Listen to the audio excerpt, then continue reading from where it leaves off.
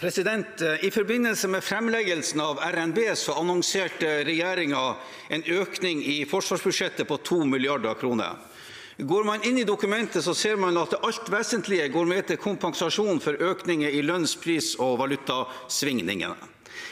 2.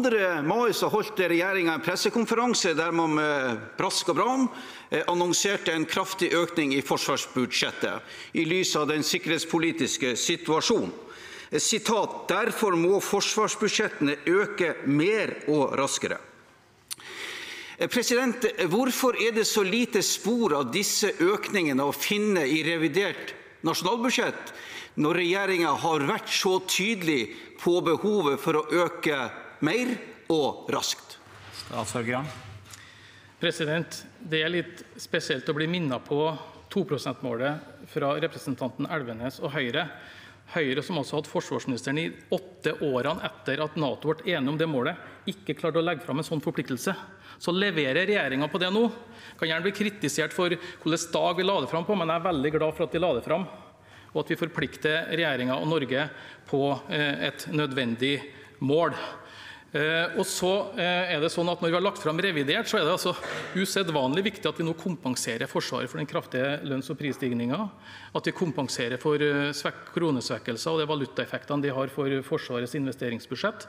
I tillegg så har vi lagt fram flere prioriteringer, ikke minst knytta til den situasjonen vi står i, med å styrke etterretningstjenesten med å legge til rette for, eh, for eh, nettløsninger på hemmelig nivå, og ikke minst for å legge bedre til rette for alliert mottak og forsterkning gjennom å styrke Andøya.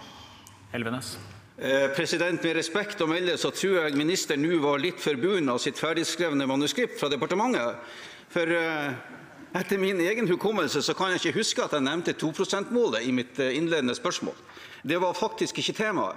Temaet var hvorfor ikke regjeringa benytta denne anledningen til å handle raskt og øke forsvarsbudsjettet i tråd med de behovene som regjeringa selv har beskrevet. Det er bl.a. varsla et nedtrekk på øvingsaktiviteten i Hæren og Luftforsvaret.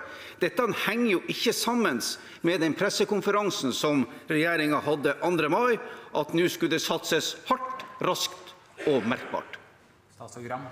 President, Den pressekonferansen som jeg refererer til, handla altså da om 2 %-målet. Så jeg føler at jeg har mine ord rimelig godt i behold. Forsvarssjefen har foreslått en omdisponering. I tillegg til de satsingene vi legger inn, så har forsvarssjefen nå gått inn for noen omdisponeringer, hvor han da bl.a. har vridd fra noe øvingsaktivitet til å styrke beholdninga.